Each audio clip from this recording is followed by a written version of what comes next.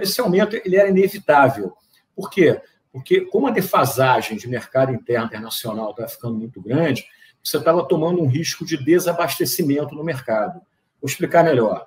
Se você tem uma diferença muito grande entre mercado interno e mercado externo, nenhum importador consegue comprar produto lá fora mais caro para vender mais barato aqui dentro. Nem a Petrobras, que hoje a Petrobras, depois da Lava Jato, você tem regimes lá, procedimentos, compliances, que os diretores da Petrobras, nem os conselheiros, podem estar lesando o, acionista é, minoritário, o acionista privado.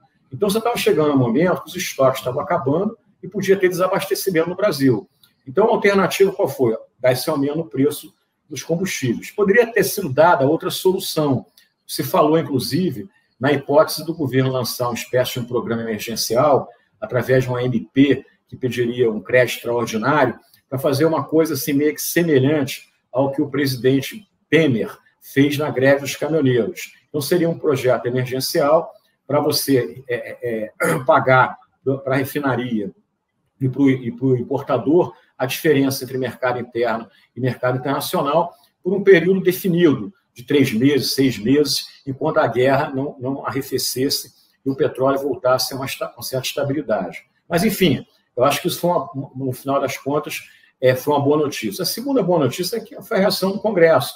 Acho que o Congresso teve agilidade também para falar, olha, a gente também vai dar a nossa contribuição.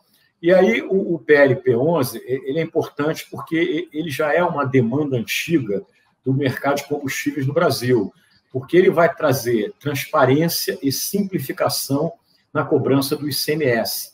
Então, as principais modificações é você transformar o, o, o ad valorem, né, que é uma alíquota em ad rem, então você passa a cobrar o ICMS reais por litro, né, é, e você também está instituindo o regime da monofasia, né, onde você é, recolhe o ICMS, ao invés de ao longo da cadeia, na refinaria e nos importadores, o que simplifica muito o recolhimento do ICMS e ajuda também a combater um dos problemas principais que tem hoje no mercado de combustível, que é a sonegação. Então, é, então, esse projeto assim é um projeto que eu acho que agrada o mercado como um todo e, e vai também, quer dizer, não é que vai reduzir o preço imediatamente é, é, na bomba. Mas, volto a dizer, ele vai trazer uma, também uma, uma menor volatilidade daqui para frente. Porque hoje você cobre ICMS, você calcula o ICMS a cada 15 dias. E nesse projeto, você vai ficar com o ICMS fixo no primeiro momento durante um ano, e depois de um ano, ele vai ser reajustado a cada seis meses. Então, você vê que é uma. Que é uma você, vai, você vai reduzir em muito essa volatilidade. Então, me parece que foi, foi muito bom o, o Congresso ter aprovado esse, esse PLP é, 11.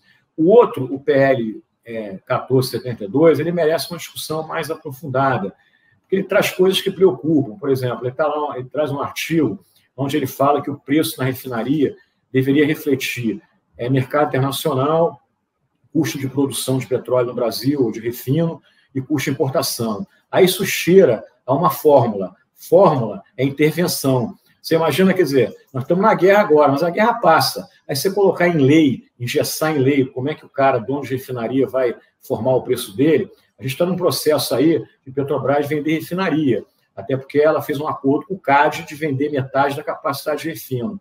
Você imagina hoje, por exemplo, a refinaria que já foi vendida à Bahia, o cara ter a lei dizendo como é que ele vai reajustar os preços dele. Quer dizer, não tem sentido nenhum. Outra coisa também, assim, até engraçada, né? eu digo até que parece uma piada pronta, é o auxílio gasolina, né?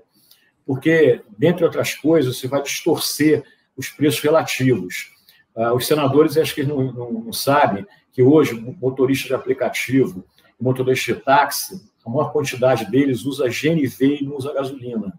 Então, na hora que você dá um subsídio para a gasolina, você está criando uma distorção de preços relativos. E ainda tem o etanol também, né? Então, o carro hoje no Brasil ele tem três combustíveis: gasolina, etanol e GNV. Qualquer, se você beneficiar qualquer um desses três combustíveis, você está criando problema no, no, no, é, no mercado. Né?